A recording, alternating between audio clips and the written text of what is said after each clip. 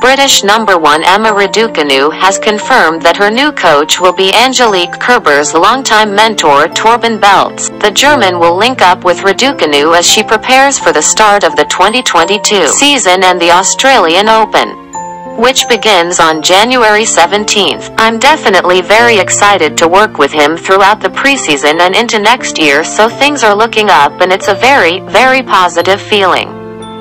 Very excited about all the work that is to come.